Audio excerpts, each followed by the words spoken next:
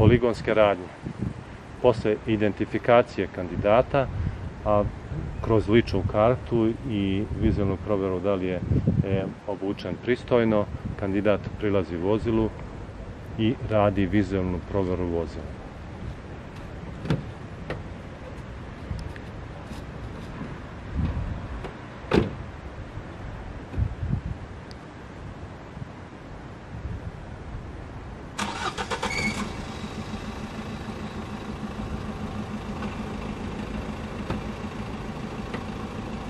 Vizualna provjera vozila se odnosi da se prekontrolišu da li su ispravne sjelice, sve koje su potrebne da rade. Točkovi ne moraju da se pomeraju, može vizualno da se provjeri da li je to u redu. Sve je to za tablicu se provjerena. Da li biste mogli da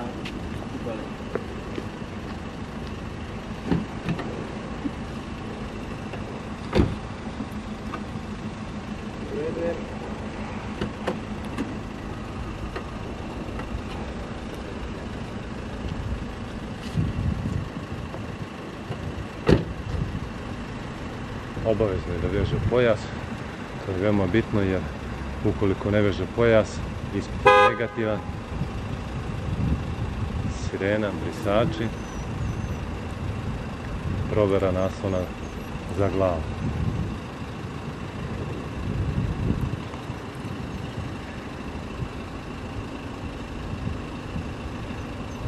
Posle vizualne provere radimo radnje koje su potrebne da se proveri i opšta sposobnost kandidata.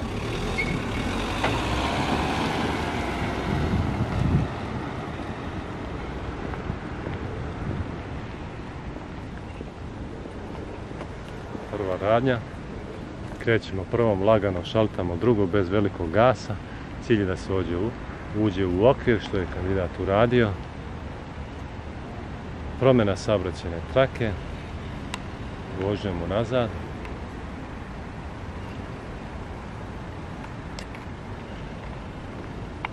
Kandidat ima pravo dva puta da stane. I čak da jednom ide napred. Ako primeti da izlazi iz saobraćene tako.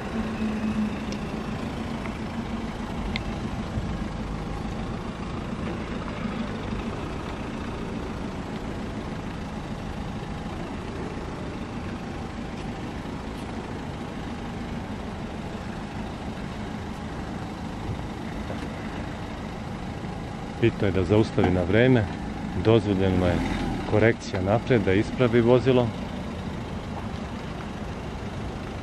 Da ispravi vozilo, ispravi točkove, onda mu je mnogo lakše da krene nazad.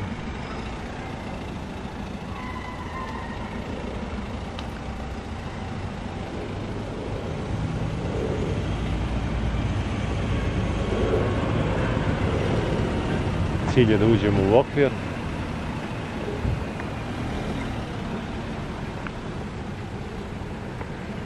Ovu radnju smo uspješno završili i sada pripremamo se za drugu sljedeću radnju, a to je ubrzanje najmanje 30, vežba kočenja.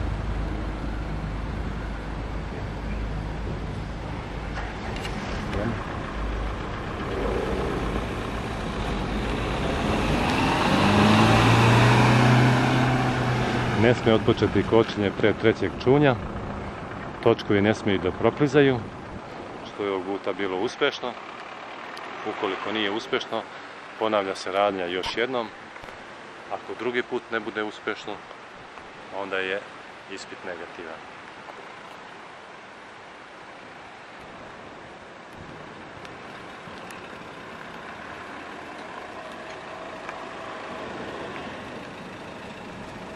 Sljedeća radnja je parkiranje između dva vozila, vožnjom nazad.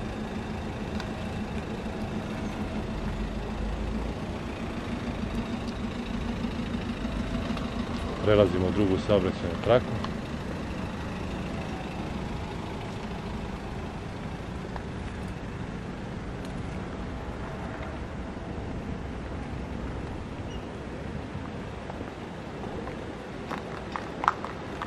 Bitno je da priđemo bliže desnoj liniji nego levoj.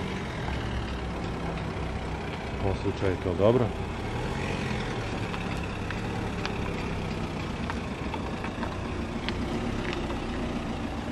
Prvi pokušaj nije dobar.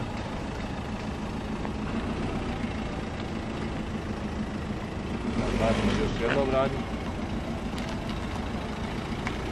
Neophodno je kandidat da kad ispravi vozilo da krene unazad i da prođe ceo parking prostor.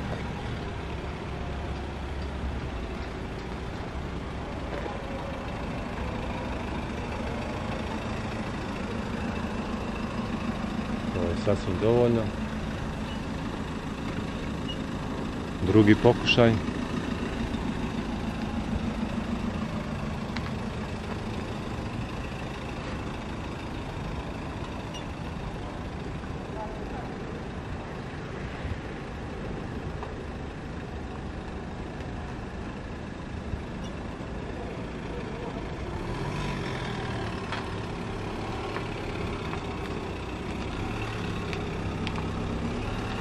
Veoma je bitno da kandidat zaustavi vozilo, a onda i da radi manerisanje sa volanom. Je mnogo lakša pozicija.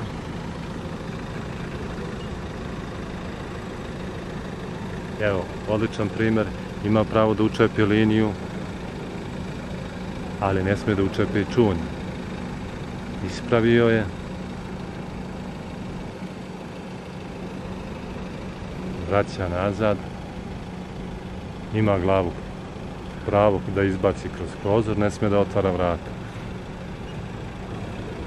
Sljedeća radnja je polukružno okretanje sa manerisanjem iz tri poteza. Cilj je da se okrenemo između prve i treće linije, a da ih ne pređemo.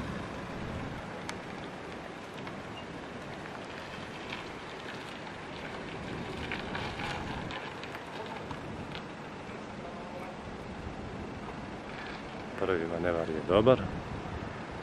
Kad god je to moguće, potrebno da se pusti kočica pa da se okreće volan. Osim kada se nema dovoljno prostora, onda mora da se mota u mjesto. A to je slučaj sa parkiranjem. Prava kroz prozor dozvoljena.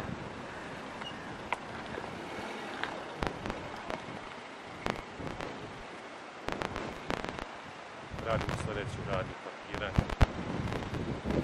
проблема в Ірані.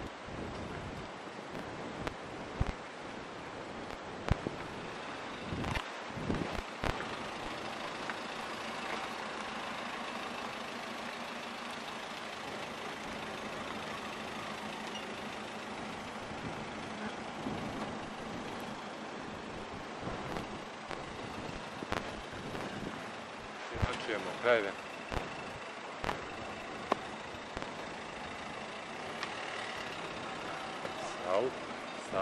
Čunjevima.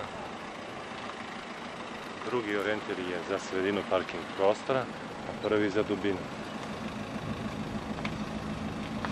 Također i ovdje imamo pravo pokušaja. Još jednom ako nije dobro i plus imamo korekciju koju možemo napraviti. Ako ne uradimo i ovo parkiranje, ako pogrešimo, ovom slučaju dobro. Može korekcija. Da. Ako pogrešimo oba parkiranja po dva puta, ispit je negativan. Znači, tri uslova za poligonske radnje. Imamo pojas, zalet najmanje na 30, kočenje i jedno parkiranje da se uradi uspješno. Radit ćemo još jednom parkiranje.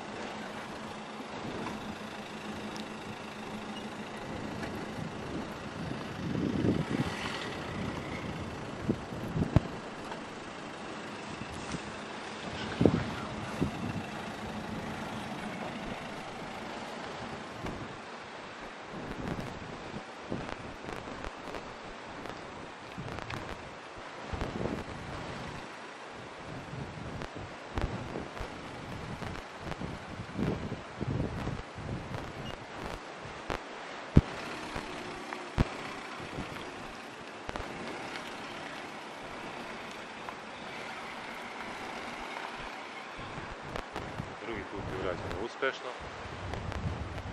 Nema potrebe za korekcijom, dakle je urađeno uspešno. Idemo, još jednu radnju radimo, to je kretanje uzbrdo. Penjemo se na rampu. Imamo dva načina kretanja uzbrdo da nam vozilo ne krene nazad, nožnom kočicom i pod patkom. Nije bitno koji će đak da radi, bitno je da ne krene nazad. Ukoliko krene nazad, jedan negativan poen. Dobro urađeno.